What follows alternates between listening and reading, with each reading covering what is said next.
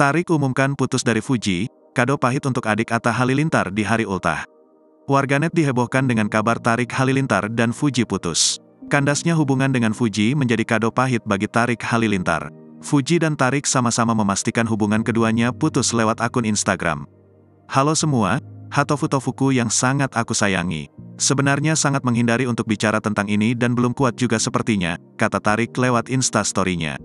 Tarik mengatakan putus dengan Fuji tepat di hari ulang tahunnya.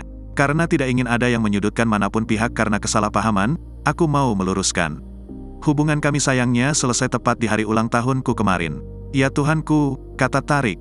Tarik pun mencurahkan perasaannya selama menjalin hubungan dengan Fuji. Sangat menghargai semua yang kita lalui bersama, mencintai dan menyayangi Fuji dengan sepenuh hati adalah hal yang sangat indah bagiku, kata Tarik.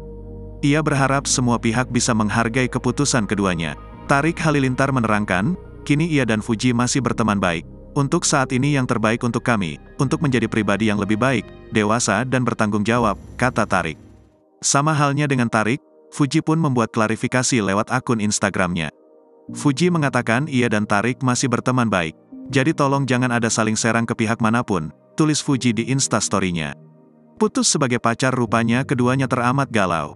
Fuji maupun Tarik Halilintar sama-sama memposting foto berdua di feed Instagram.